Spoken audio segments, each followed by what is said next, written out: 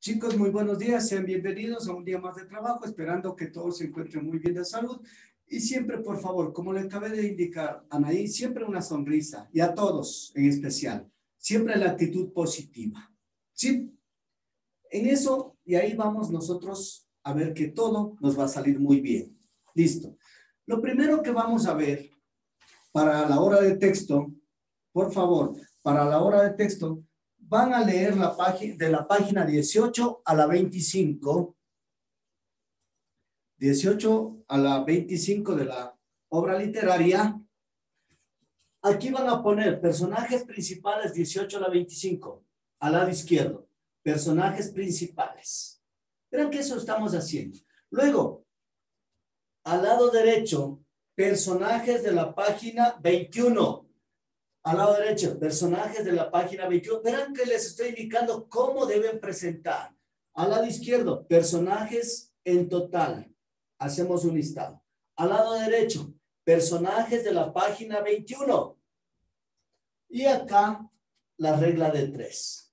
Miren, ¿dónde está lo difícil, chicos, en hacer el trabajo de obra literaria? Sí, Anaí. Lisian, ¿podría repetir las páginas de los personajes principales, por favor? 18 a la 25. Gracias. Ya. Me parece que eso no es nada difícil. Poner personajes principales, listar todos los personajes principales de la lectura, 18 a la 25. Aquí simplemente ponen personajes principales, la página especificada es la página 21. Personajes principales, página 21. Y acá al lado derecho o en la parte inferior hacen la regla de tres. No es nada difícil, chicos. ¿Sí estamos de acuerdo? Por favor. Luego, para el portafolio, chicos, he tenido muchas dificultades para calificar. ¿Qué es lo que van a hacer ustedes o qué es lo que debían hacer? En cada una de las materias, matemáticas, ciencias naturales, cualquier materia, en este caso, debían crear una carpeta que diga segundo quimestre.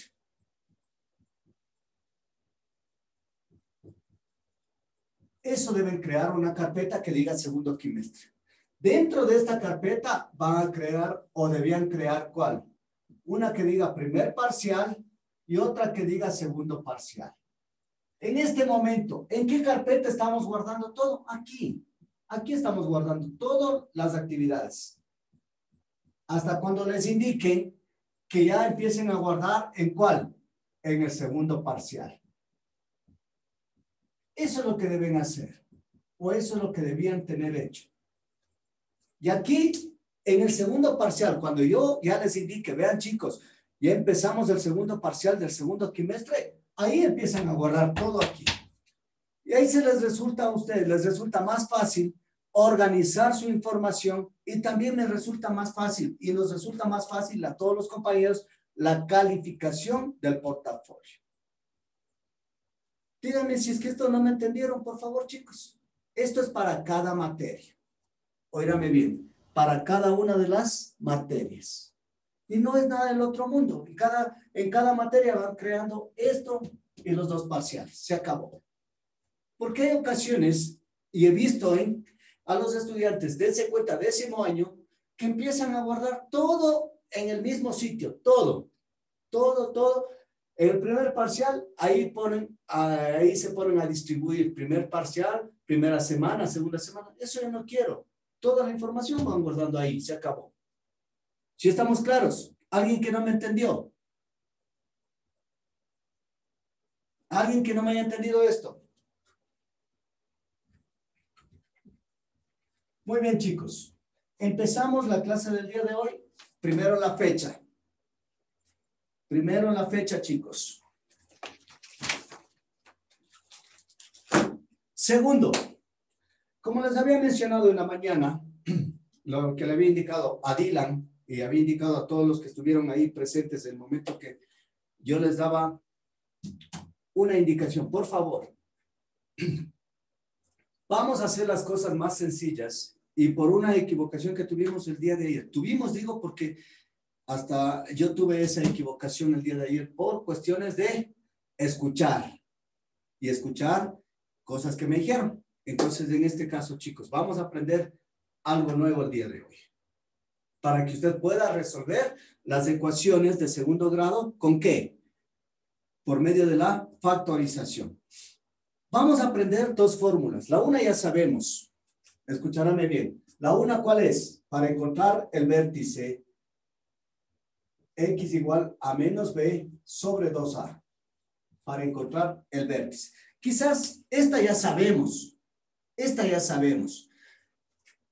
Otra fórmula que yo le voy a llamar discriminante es igual a b cuadrado menos 4ac. Usted se dirá, bueno, ¿y esto para qué? Esta fórmula utilizamos para ver si es que, ¿cuántas soluciones tiene mi ecuación? Si tiene una solución, tiene dos soluciones o no tiene solución. Verán que yo anteriormente ya les indiqué algo. Entonces aquí, si es el discriminante es mayor a cero, dos soluciones. Si es que es mayor a cero. Si el discriminante es igual a cero, una solución. Si el discriminante es menor a cero, no tiene solución.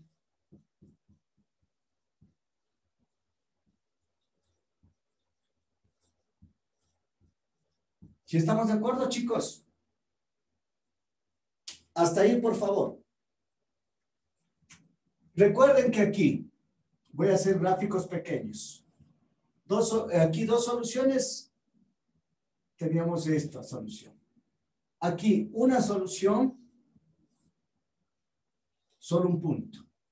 Y no tiene solución cuando está la gráfica por ahí. Recuerden, chicos, eso ya vimos, esto ya vimos. ¿Qué nos faltaba ver? Esta formulita para qué? Para que usted pueda verificar si es que existe o no existe solución, cuántas soluciones existen. ¿Alguna inquietud hasta ahí, chicos? Por favor, ¿alguna pregunta? No. Ya. Esto debemos saber. Solo estas dos fórmulas. Y van a ver que nos resulta sencillo. No, pues realicen. Por favor.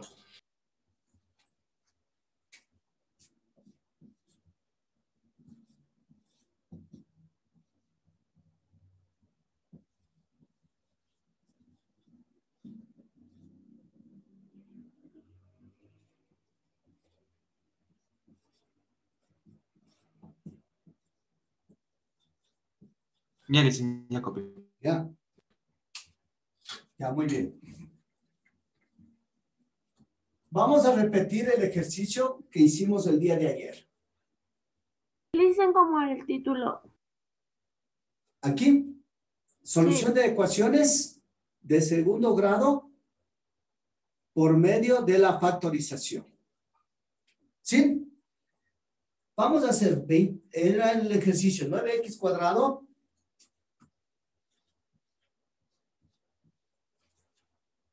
más 5x es igual a 9 cuartos. Negativo. ¿No es cierto? Ese era el ejercicio. Usted sabe que toda ecuación debemos igualarle a cuánto? A cero. ¿Sí estamos claros? Chicos. Entonces aquí, ¿qué nos quedaría? 9x cuadrado más 5x más 9 cuartos igual a cero. Ya, está mi ecuación. Es una ecuación completa. Listo, chicos. Entonces aquí, lo primero que vamos a hacer, a encontrar los coeficientes. A es igual a 9, B es igual a 5 y C es igual a qué? 9 cuartos. El orden que usted va a trabajar para nosotros poder establecer si es que existe solución o no, es lo siguiente. Primero el discriminante, luego encontramos los vértices. Eso al final. Discriminante es igual. ¿Cuál era la fórmula, chicos? ¿No escucho? D al cuadrado menos 4 Ah, sí. Ya, muy bien. B cuadrado menos 4AC. Esta utilizamos para ver si es que existen soluciones, no existen soluciones o existe una sola. Bien, entonces aquí, discriminante es igual. ¿Cuánto vale B? 5. 5 elevado al cuadrado. Menos 4 que multiplica. ¿Cuánto vale A? Vale 9. ¿Cuánto vale C? 9 cuartos. Listo, chicos. Simplificamos. ¿Y qué me queda? Discriminante es igual. 25 menos 81. Discriminante. ¿Cuánto es la discriminante aquí? 25 menos 81. Chicos, Menos Menos 56. 56. menos 56. Ya. ¿Qué me dio el discriminante? ¿Mayor, menor o igual a cero? Menor. Menor a cero. ¿Qué nos dijo en el cuadro que les di al inicio? No tiene solución. No tiene solución. Es decir, ¿qué mal haría yo en ponerme a qué? A factorizar esto si es que no tiene solución. Lo que sí puedo hacer, lo que sí puedo hacer, encontrar qué? El vértice.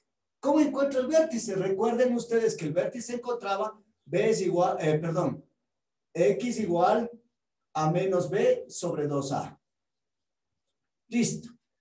X sería igual menos 5 sobre 18. ¿Sí o no? Listo. Ya tengo la X. ¿Qué significa que este gráfico va a estar de esta manera? No sé dónde sea, puede ser aquí, pero no va a tener corte con los ejes. En este caso, perdón, no va a tener corte con el eje X. No va a tener. Va a estar, en este caso, puede estar aquí, puede estar acá, nada más. O puede, en este caso, ¿por qué? Porque es positivo. Únicamente así puede estar, ¿sí o no? Porque no tiene cortes con los ejes, eh, con el eje X. ¿Sí estamos claros en eso? Jóvenes. Sí. Ya, listo, chicos. Otra cosa que también debía indicarles es cuidado en este caso. Lo que ayer pasó el, eh, una, la inquietud que tuvo Dylan en este caso. No se reemplaza este valor acá, no, sino el valor cuando tengo solución. Ahí nos va a dar esta igualdad. Cuidado, chicos. Cuando tengo el valor de X1 y X2, ahí sí puedo reemplazar acá y decir que tengo la solución. ¿Sí estamos claros, Dylan? No este valor, cuidado. No este valor. Esa fue la confusión y ahí empezó todo. ¿Listo? ¿Estamos de acuerdo? Dylan, ya. Entonces ahora para encontrar y, ¿qué sería? Y es igual 9x cuadrado, 9x cuadrado más 5x más 9 cuartos. Ya tengo esto. Entonces aquí simplemente, ¿qué debo hacer? Reemplazar y es igual a 9 que multiplica. ¿Cuánto tengo? Menos 5 18 avos al cuadrado más 5 que multiplica a menos 5 18 más 9 cuartos. ¿Sí? Más 9 cuartos. En este caso, cuando ya tengo todo esto, debo simplemente ¿qué? Encontrar el valor de y. Aquí sería 9, 18 al cuadrado. ¿Cuánto sería, chicos? 18 al cuadrado. No sabemos. 324. 324 menos 25 por sobre 18 más 9 cuartos. Hagan esa operación y me dan el resultado. Rapidito. Hagan esta operación que sería 9 que multiplica 25 sobre 324 menos 25 sobre 18 más 9 cuartos. ¿Cuánto sería esa parte?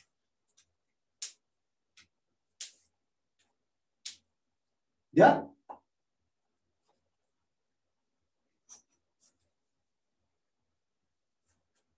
Chicos, ¿cuánto me dio?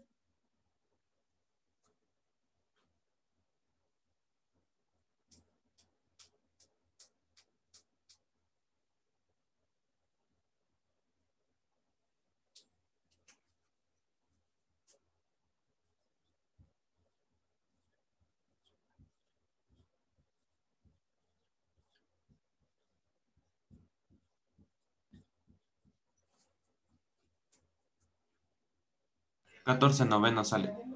¿Cuánto? Catorce novenos. Ya, bueno, yo simplemente voy a poner aquí.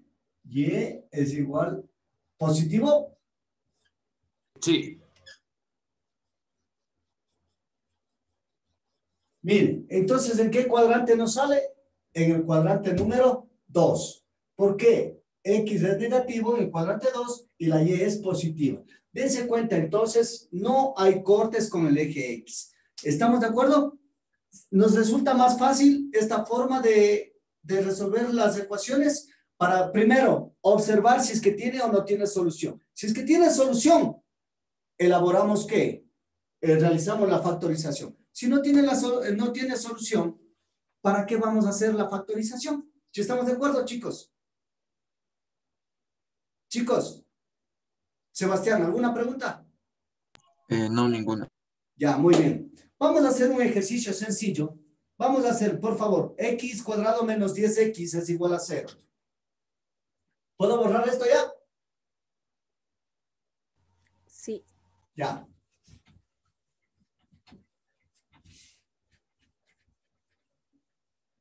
Listo, chicos. X cuadrado menos 10, X es igual a 0. Muy bien. Primero, los coeficientes. A, ¿cuánto vale A? Uno. ¿Cuánto vale Uno. A? Uno, ¿Cuánto vale B? Menos menos diez. diez, Menos 10. ¿Cuánto vale C? cero. Cero. Cero. Muy bien. Entonces vamos a ver esta parte. Entonces aquí, primero el discriminante es igual B cuadrado menos 4AC. Listo. Discriminante es igual B cuadrado 100 menos 4 que multiplica 1 por 0. Entonces, discriminante ha sido igual, igual a 100. ¿Es mayor a 0? Chicos, Sí. sí. Como es mayor a 0, volvemos anterior y vemos cuántas soluciones tiene si es que es mayor a 0.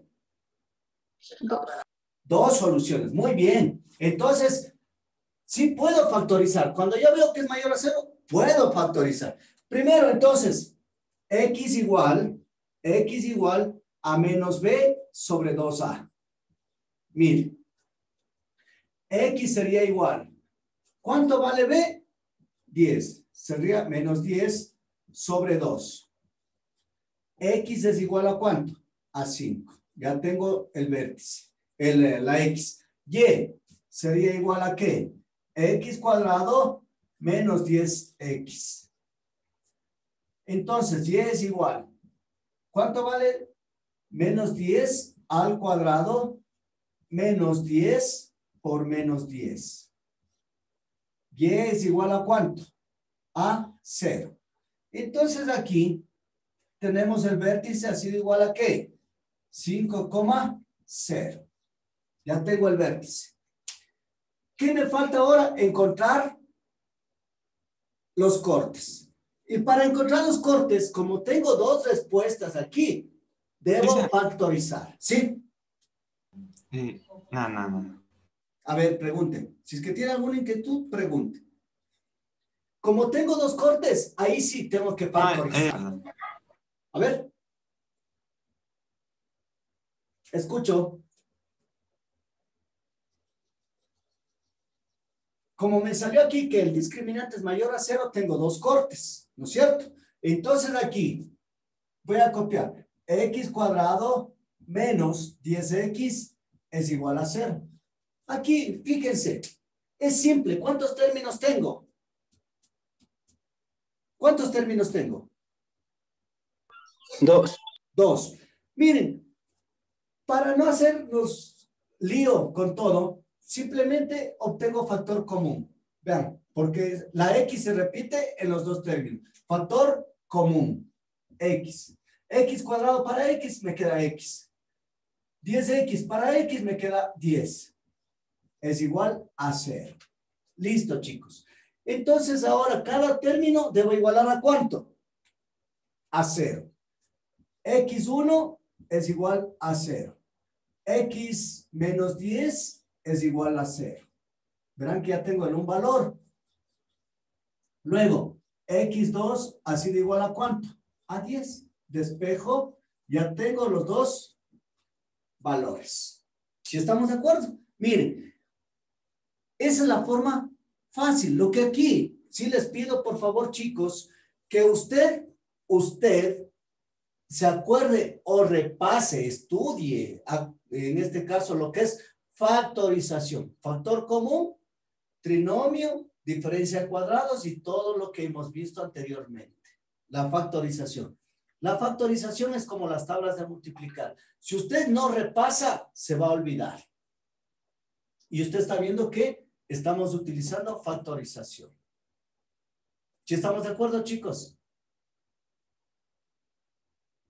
Muy bien. Van a hacer un ejercicio similar a este. El literal D. Literal D.